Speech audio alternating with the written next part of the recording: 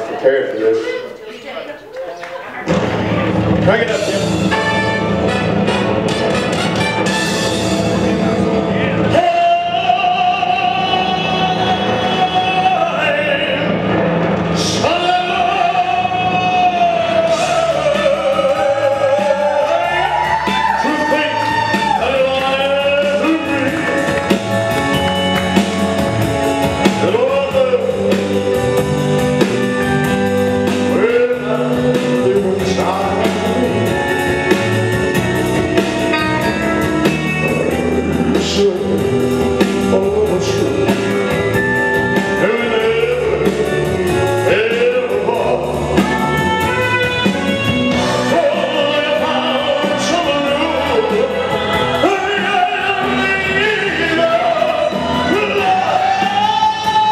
Yeah.